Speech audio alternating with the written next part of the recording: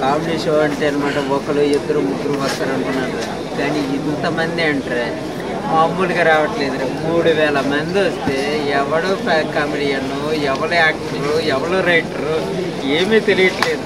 ఇంతమందికి అవకాశాలు ఇవ్వాలంటే ఇంకో స్టూడియో పెట్టాల్సి వస్తుందిరా కాబట్టి దయచేసి ఎవరైనా యాక్టర్స్ ఉన్నారనుకో ఇలాంటి అవకాశాన్ని వినియోగించుకోండి ఆడియన్స్ లాగా బయట నుంచి ఉండడం వల్ల ఏం ప్రయోజనం చెప్పండి?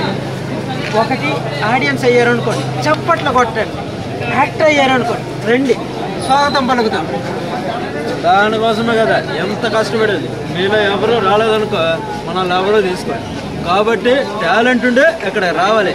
లేదంటే ఆడియన్స్ లాగా చప్పట్లు వేళ్ళు విజలు కొట్టుకుంటూ